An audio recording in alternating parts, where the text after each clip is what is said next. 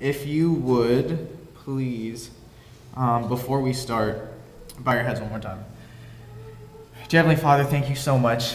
You're great. You are amazing and you are merciful and, and loving. And, and I just want to thank you so much for that. I want to thank you for the fact that we can come here today and just worship worship you and and learn about that, learn about your character and learn about you. And so, Father, I'm asking that this, that every word that is spoken here today would glorify you and that you would be the one that's speaking. Lord, take over your sermon, take over your message, and just implant it into the hearts of everybody here. In your name I pray. Amen. So, when I was younger, uh, I did something that I believe uh, most most kids that were raised in the United States, uh, I think, do. Um, for some reason, I was I was frustrated and I, I, wasn't happy. I was in my house, and for some reason, I was I was frustrated with with my mother actually, who's who's right here. Uh, this is the way that I was frustrated with, and by the way, my stepdad's right there, my stepbrother's right there.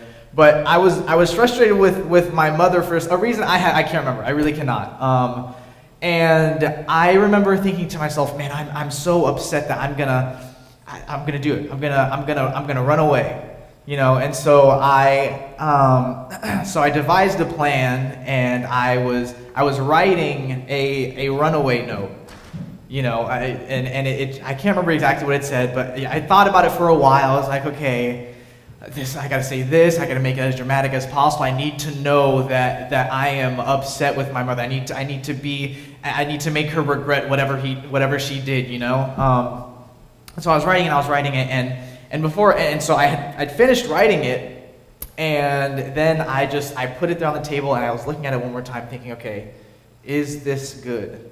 Is this is this note dramatic enough? Is it gonna make her regret what she the fact that she made me upset. And I can't even remember what it was. I'm sure it was something like, go do your homework, you know, like something super simple, but you know, as a kid, it was, it was just upsetting for me. And so I wrote it and, and I left it on my table in my room. I left it on my desk in my room. And so I'm like, okay. So I went, I left, and I, I knew in my head, okay, I knew that I wasn't actually going to run away. I just wanted to, to have enough time away for her to read it and think, oh no, you know?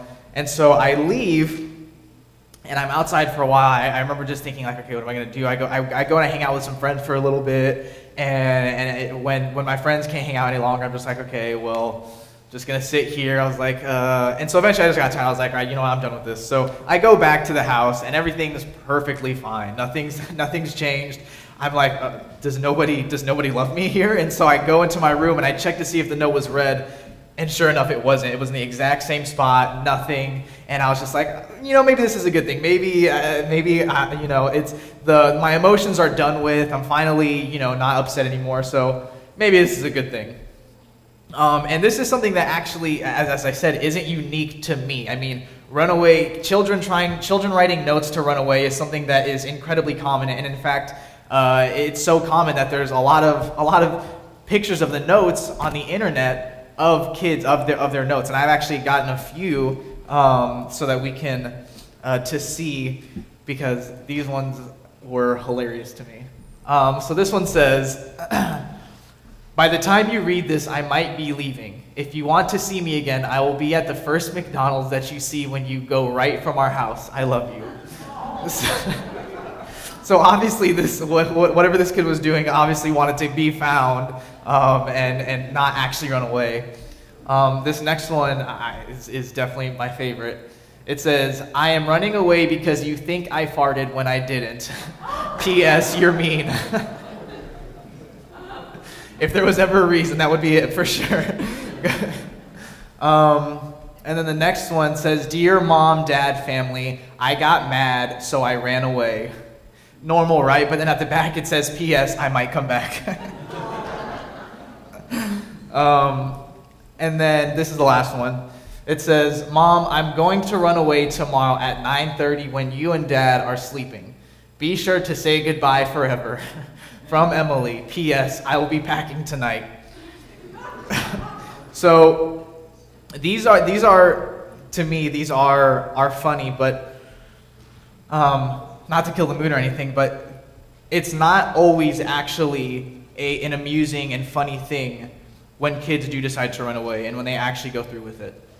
Um, I don't have any children, so I, I don't know the, the exact feeling, but I've seen people who have who don't know where their children are at. You know, like they don't know eh, what, what happened to them, and it's devastating. And I'm sure the parents are are devastated, and it's not it's not very fun.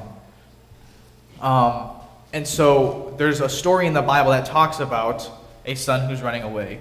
Um, and so if you would, please turn with me to Luke 15, uh, starting with verse 11.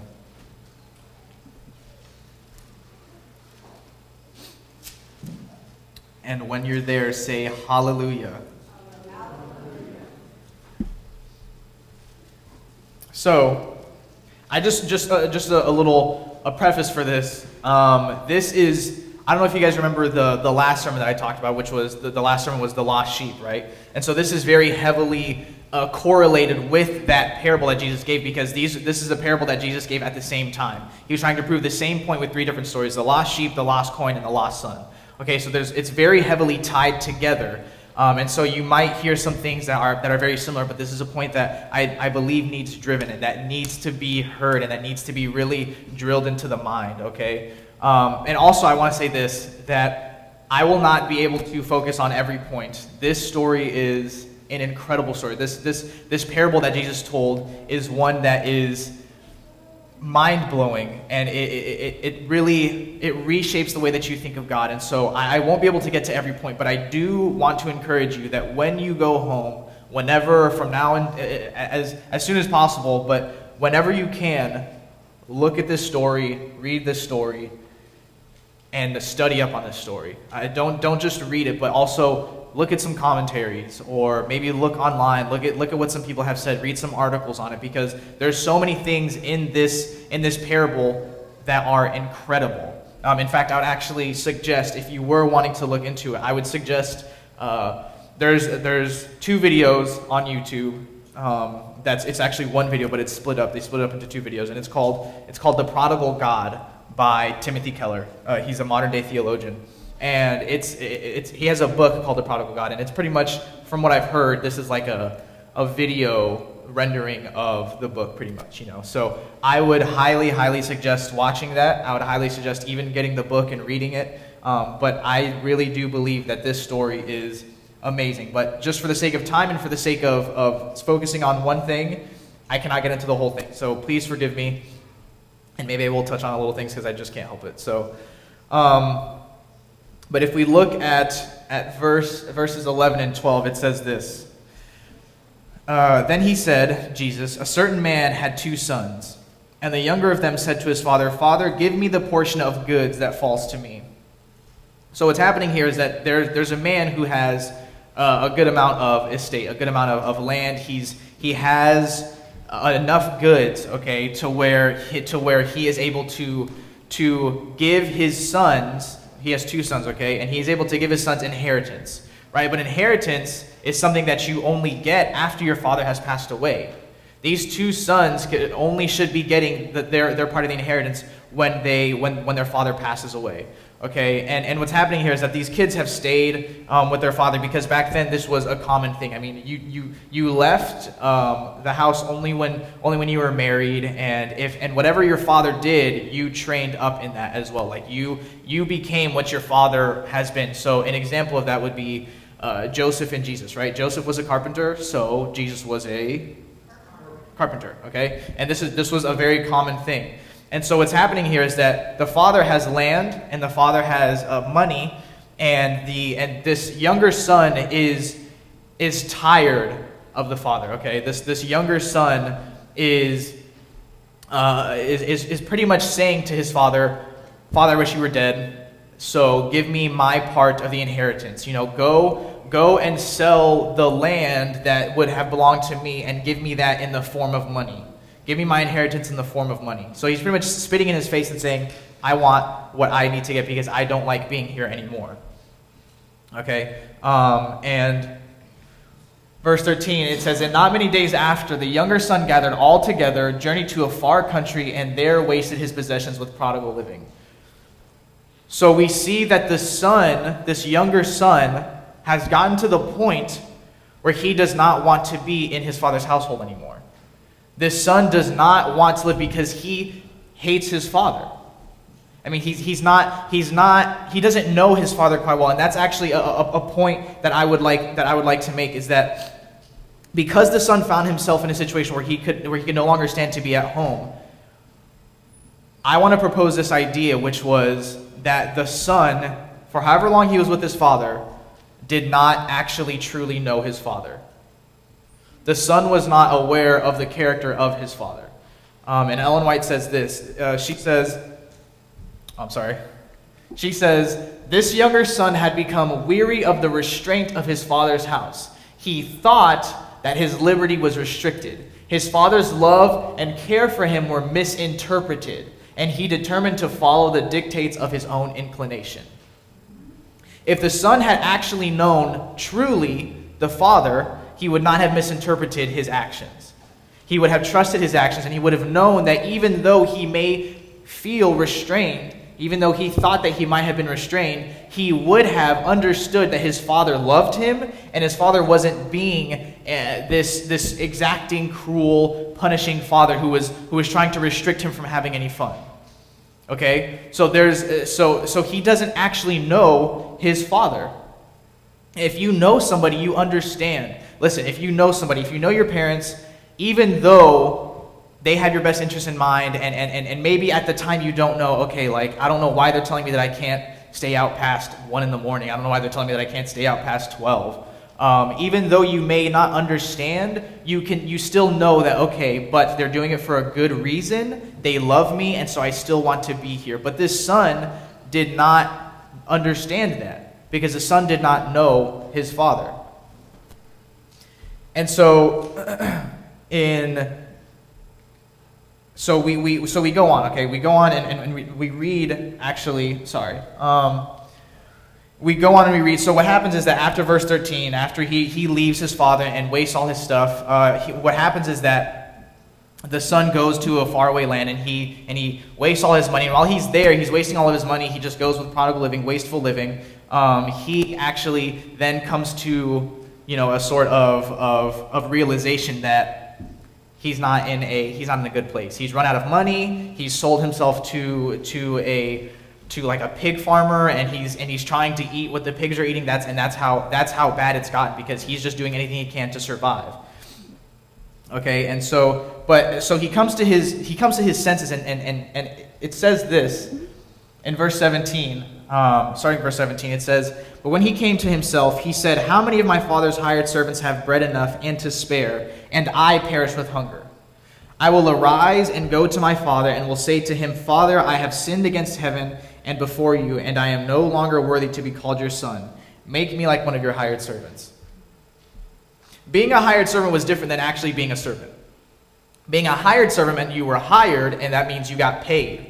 You got paid in order to do some of the things that, that needed to be done around the around the estate. So you know you might do you might do some of the same things as, as other servants, but you but it was different because you were a hired servant. Hired servants lived in town. They had their own homes. They had their families, and, and they got paid a wage, right? And just like any other job, they could work their way to becoming more and more uh, responsible for more and more things, you know, and they, they could work their way up. And so what's happening here is actually the son is starting to devise a plan to work his way back his, to work his way back into his father's family. He's not saying I just want to stay a, a servant forever and I'm like I'm not going to do anything. He's saying I want to I want to work my way back into your family. Okay?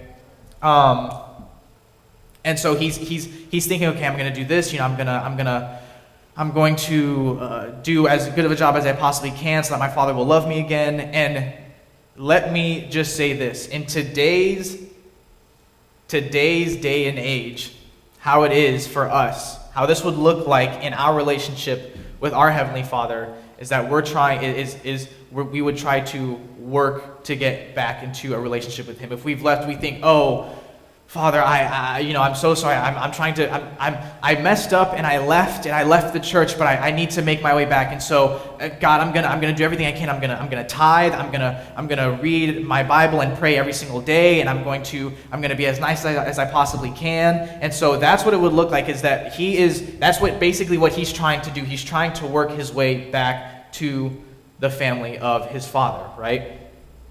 But the reason why he's doing this is because he didn't know his father. He didn't actually know his father. He didn't know the character of his father. So that's why he thought he had to do this. He thought that he had to do this in order to get back into the family, not knowing that his father wasn't actually looking for that. Okay, and, and to be honest, I think there's a lot of people who don't who don't actually ever quote unquote come back to a relationship with God simply because they think this is what they have to do but they don't think they're good enough. They think, I have to work my way back, and so because I have to work my way back, I'm not good enough. I can't do it. I can't actually work my way back. And so they're too scared. You know, like they, they, they think that they're just not good enough. And I mean, to be honest, none of us are good enough.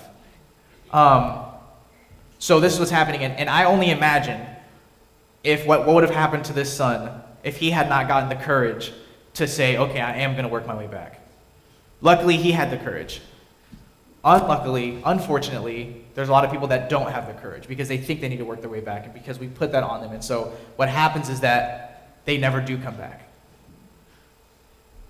And there's actually a, another group of people that are that, that think the same way. Jesus talks about another group of people that, that think this way.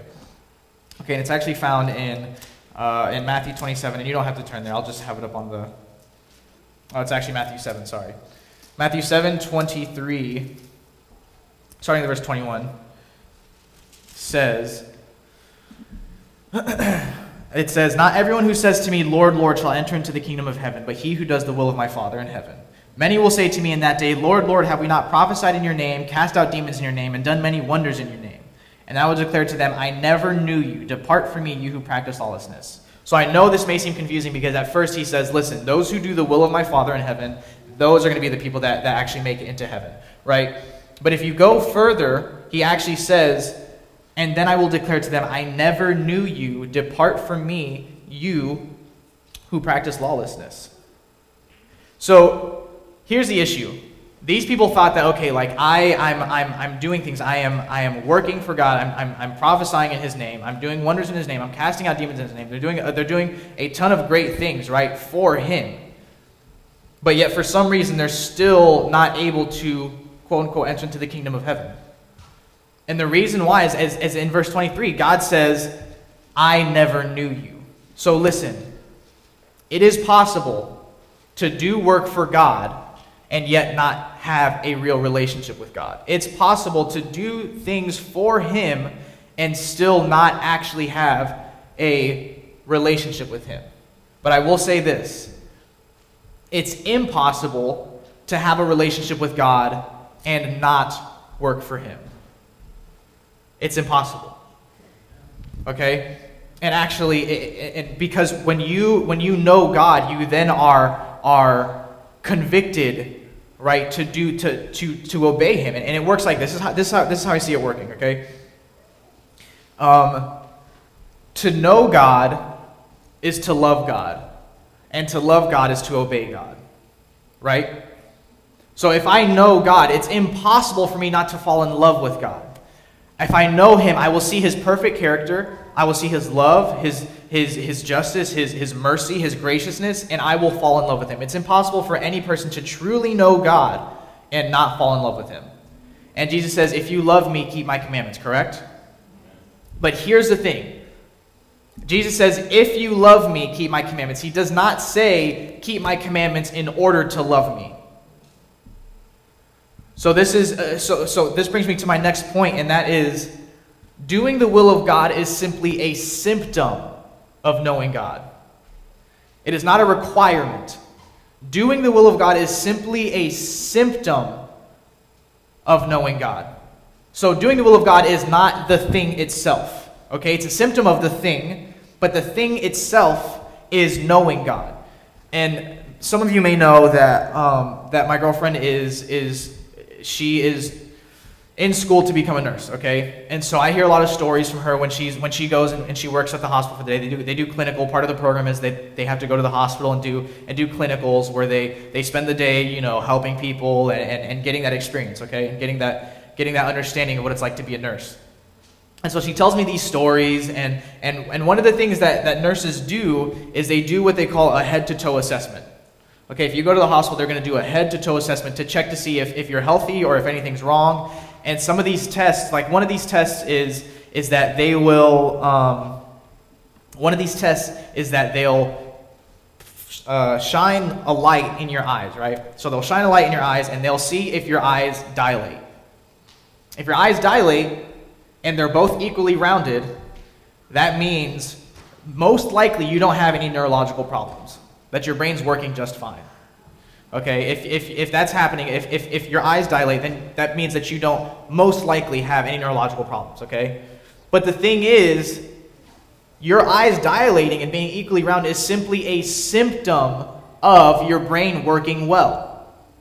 Okay, if I go and I go and I get my and I and they, they do the head to toe assessment and they check my eyes, if they're dilating, that just that simply means that it's a symptom of the fact that my brain is, is working just fine. It's working at normal capacity. There's, there's, there's more, more than likely nothing wrong with it. But the eyes, dilating, the eyes dilating aren't the thing itself. The thing itself is your brain. They're wanting to see what your brain is like. Okay? They're wanting to see if your, if your brain is healthy. And that's the way that they're checking. Because the only way they can check that is, is through the symptom. But I do want to continue, I, I want you to, to really know this, is that it's, it's simply a symptom of knowing God. But the thing is, I want to also add this. If you know God, that doesn't mean that automatically you're going to be perfect. I mean, there's no way. just because you know God doesn't mean that you, you're automatically a perfect human being and you're just gonna continue and you're gonna and you're gonna you're not you're never gonna do anything wrong. Okay, that's not a that's not a thing. Actually, in, uh, in Ecclesiastes 7.20, it says, For there is not a just man on earth who does good and does not sin. There's not a just man on earth who, who does good and does not sin. If I'm a child, right, and my mother can attest to this, I love my mother, right? I do, and I, I really, really do. Uh, sometimes I may not be a parent, but I for sure love my mother, and she knows that, okay? But she knows quite well that that doesn't make me perfect. She knows that I am not going to automatically just do every single thing the right way and I'm never going to mess up. And she knows that even if I mess up, though, even if I mess up, that doesn't mean that I'm out of that I'm kicked out of the family. And much in the same way with God. Yes, we do. If we love Him, then we are transformed, and we are when we start to we start to obey Him, and, and the symptoms come. But that doesn't mean that we're automatically going to be perfect. And just because we're not perfect, if we mess up, God isn't saying, "Oh, you messed up. Okay, well, let me just erase your name out of the out of the out of the book of life." He doesn't flip flop back and forth and say, "Oh, you messed up. Okay, well, you're back here. Oh, you finally like you you finally come back and you finally uh, uh done right and you you paid tithe the, the the perfect amount. Okay, well, you're back into the into the book of life." That's not what's happening. All right? And that really needs to be another, another thing that's, that's understood. So, um, the thing, so Matthew 7 23, and I want to come back to this point, and then I will declare to them, I never knew you, depart from me, you who practice lawlessness. That is the main point. The reason why they're not entering into the kingdom of heaven is because they never knew Jesus. It's about knowing him, knowing him, knowing him. Okay?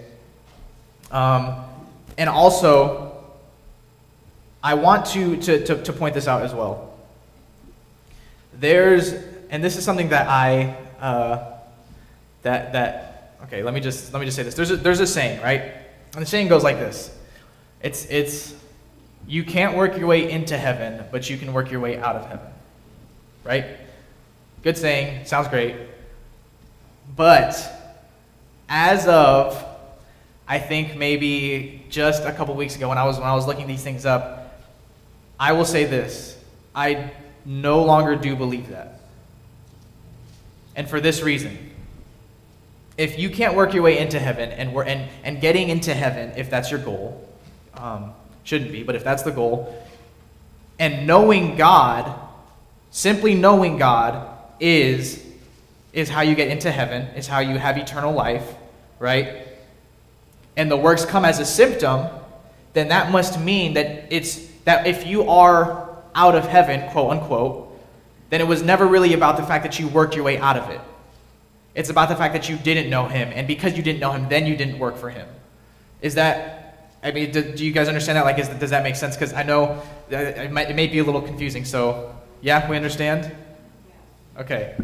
Um, so it's, it's impossible to work your way out of heaven because the only way to get yourself out of heaven is if you don't know him in the first place. And then, because the works are a symptom, then those works will follow, which you won't be doing works for him. Okay? But it's all because works are a, simply a system, or a symptom. All right? Um, so, so as I, so, okay, we, if we go back to the story, Luke 15, if you would jump back with me. Um, Luke 15, and then going again to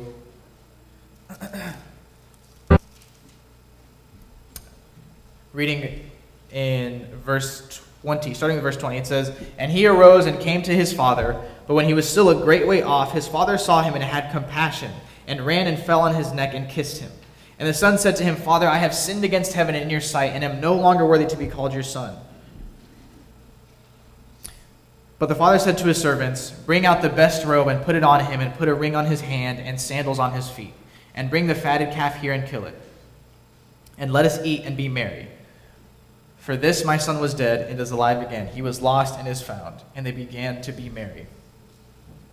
So the son is over here trying to come back, right? So the son, the son finally comes back and he's like, okay, I'm gonna go to my father. I'm gonna, I'm gonna give him my plan. I'm gonna give him my, my little spiel. So he goes to him, and while he was still a far way off, the father, looking for him and, and, and wanting him to come back, sees him a far way off, and he, the father, runs to him. Now understand, running in this culture was not a thing. If you did it, that was shameful, because if you were running that meant that you didn't have you didn't really have your life together. I mean, you just you it wasn't professional to run. Um, what, what, what would happen is that because you know they had kind of like dresses on back then, everybody everybody had them. You'd have to pick up your dress and then you'd have to run. Okay, um, and that means you had you'd have to bare your legs, and to bare your legs is also is also very shameful. It's just not you don't do that. Okay, and so the the, the father.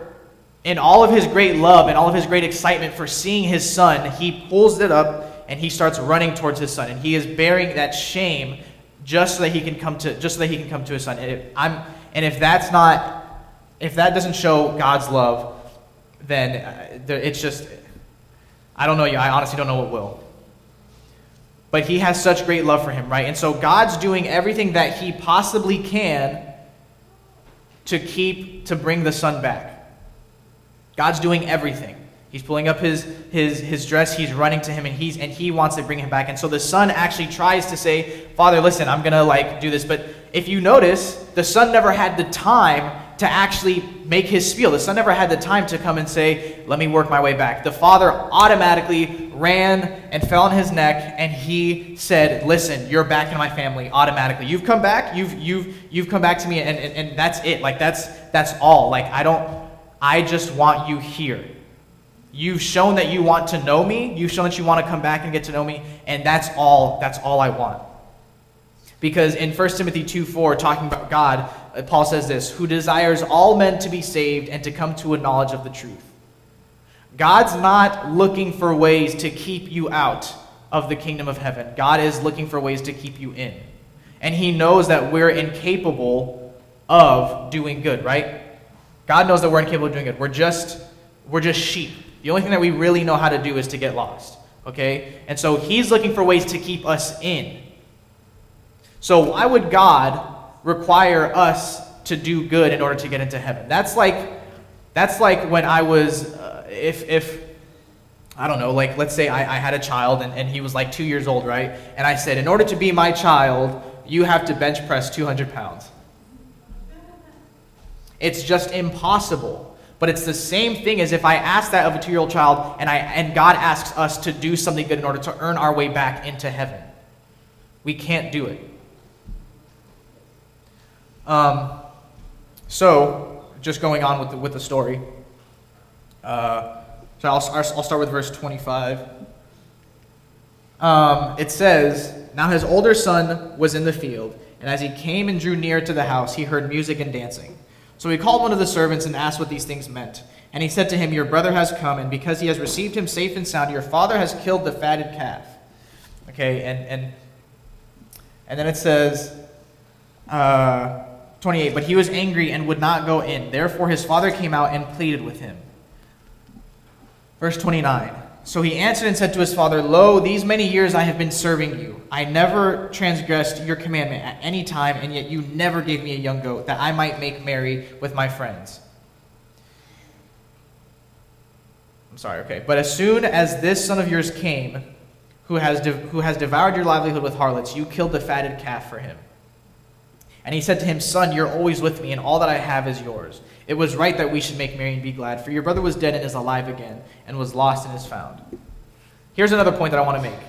Even though the oldest son was with the father his whole entire life, he also did not know him. He did not know his father. If he knew his father, he would have known how the father would have reacted when the younger son came back. Right? He would have known and he would have been and he would have known that his father was was was crying and he and he was sad, waiting for his son to come back, thinking, "What where is my son? What has happened to him?" The older brother would have known that if he would have taken time to actually know his father instead of just doing all these things for him. Because he tried to work his way as well. He tried to work his way into, into, a, into I guess, to gain from, from his father, to gain the inheritance, to gain what he wanted. But the older son also did not know his father, because if he did know his father, he would have as well been happy. I, I really do believe. If he knew his father, he would have been happy that his, that his, younger son, young, his youngest brother was coming back as well. In 2 Corinthians 3.18, it says this, actually. It says, But we all, with unveiled face, beholding as in a mirror the glory of the Lord, are being transformed into the same image from glory to glory, just as by the Spirit of the Lord. If we know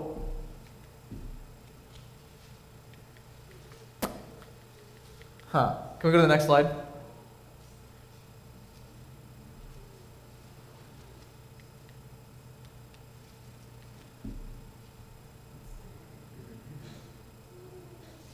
Okay.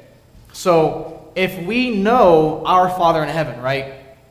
According to this verse, and actually, next slide, according to Ellen White, we would we would understand, okay, this right here. It says Christ is our example. By beholding him, we are to be changed into his image, from glory to glory, from character to character.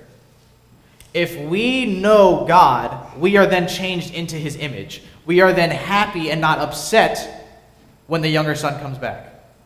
We are then excited, not upset. We are then happy and we are sharing in the joy when we know God. Because when we know God, we're changed into his glory. But the thing is, the older son did not know his father because he didn't realize and understand the way that he would have reacted. Okay, and so, next slide. Thank you um, is, is this. This is the last point, and this is the verse I want to end on. And this is eternal life, that they may know you, the only true God, and Jesus Christ, whom you have sent. This, and only this, is eternal life. That they may know you, God the Father. Everything else will come, but the main thing itself is whether you know God. And so we need to keep the main thing the main thing. We can't, we can't require people in, in, in, in saying, okay, well, if you, yeah, you did mess up, you're right, you really, whew, you, you messed up there. And you, you've been gone from the church for a long time, so when you come back, you know, you got to make sure that you, you pay your tithe correctly. You got to make sure that you, that you uh, fellowship in every right way. You need to make sure that you're doing good. You need to make sure that you're doing all these different things. These things are important. I'm not saying they're not. But they are not requirements into eternal life. The only requirement is knowing the one true God and Jesus Christ, whom He has sent. Okay? And so we have to really, really pound that into our, into our thoughts. that this is the main thing. And, and maybe it may seem like an oversimplification. But the thing is, in my, in my, in my opinion, the gospel is simple. It's that we would know God. And so let's not make it a requirement. You know, if, if, if something's happening, and I know that there, that there are people that are out there that, that think, okay, well, you know, if I, if I mess up, then I'm just, I'm no longer a child of God. You are free to struggle. I'm not, I'm not, I'm not encouraging it. I'm not encouraging you to, to just go off and do whatever you want and say, I'm still a child of God, you know?